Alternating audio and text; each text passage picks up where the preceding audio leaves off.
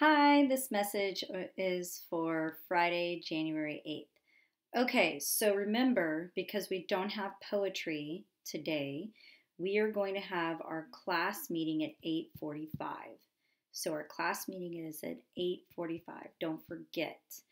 Um, for that meeting, you need to have your social studies study guide open. So it's a study guide for the Age of Exploration test. It's in the formative.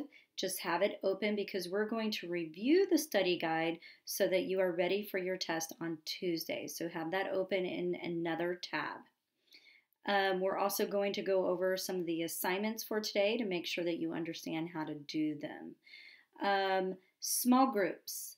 So small groups, I'm hoping that we can move small groups to 10:15, just 15 minutes earlier than normal just because you have Spindrift at 11:15 and we have to do a couple of extra slides because we don't have school next Friday. So we're going to do two small groups in one. So 10:15 for small groups. That'll be Luna, Elise, Dylan, Kai, Nadine, Audrey, Edie, and Fia. And you need your Miraculous Journey of Edward Tulane um, book. Also, guys, you have an art lesson, but I do want to make sure you got some poster paper yesterday that's rolled up. It's a poster that is for famous Americans. So please do not lose that and please don't use it for your art.